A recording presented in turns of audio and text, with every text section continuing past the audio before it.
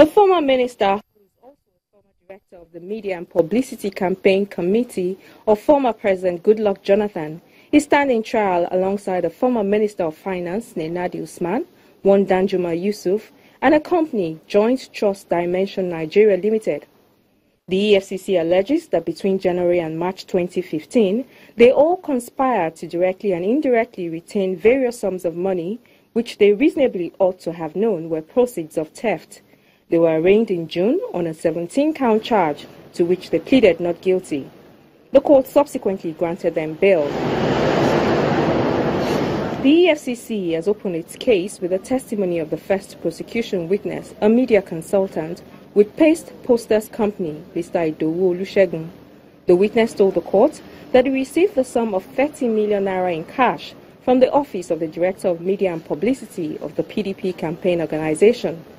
The money, which was for printing posters and flyers, was paid through one Olubode Oke, who the witness said he believed was interfacing between him and the director of media, Mr. Femi Fani Kayode.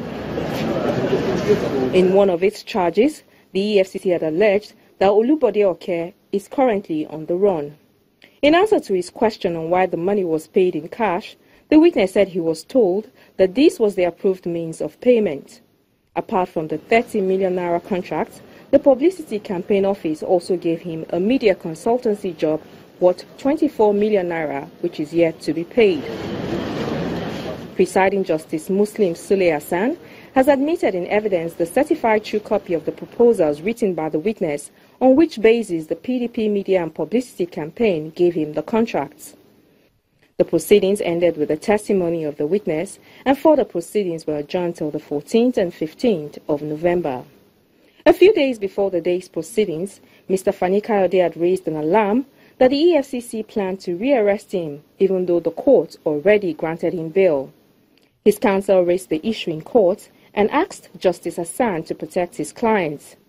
Counsel to the EFCC, however, told the court that there was no plan to arrest the first defendant in connection with the same charge, but he could not say the same about other charges pending against the defendants. As he stepped out of the courtroom, Fani Kayode told journalists that he would not be intimidated by the tyranny of his prosecutors. They will not take my life. I am not scared. I am not intimidated. I will not be silenced. And I'm very proud of the fact that the Nigerian people are beginning to understand what's going on in this country. They can re- arrest me a thousand times, torture me, lock me up, beat me, deprive me of food and my phones. They can do anything to me. I will never change. I know that the commission uh, will not arrest anybody without um, allegation, fresh allegation leading to another set of proceedings different from the one before the Federal High Court Lagos Division. That is what I know because the core values of the Commission is professionalism, integrity, and courage. So I know we never work outside the realm of the law. Indeed, Channel TV gathered that there are fresh charges pending against Mr. Fani Kayode before another court in Abuja, the Federal Capital Territory, and his rearrest as he left the courtroom might not be unconnected with those charges. He was approached by men of the EFCC who asked him to follow them, and he was subsequently led to a waiting bus and driven away.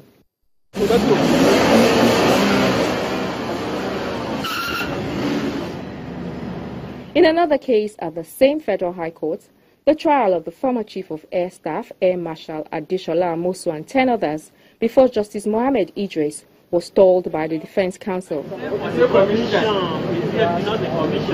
The testimony of the first prosecution witness was halted on the cross-examination when one of the defense counsel raised an objection about his credibility and demanded that he tender his international passport to prove his identity. The EFCC objected, insisting that this was a ploy to delay the trial. But despite the objection, the court ruled that it was in the interest of justice to grant the request. The former chief of air staff and 10 others are standing trial for alleged conspiracy and conversion of about 22.8 billion naira belonging to the Nigerian Air Force. They had previously given an indication that they would enter a plea bargain with the EFCC and had even given up some of the assets and monies traced to them. But in what could be described as a breakdown of talks, the EFCC has opened its case against them by calling its first witness. The cross-examination of the witness will continue on Monday, the 24th of October. Shola Shayeli, Channels Television News.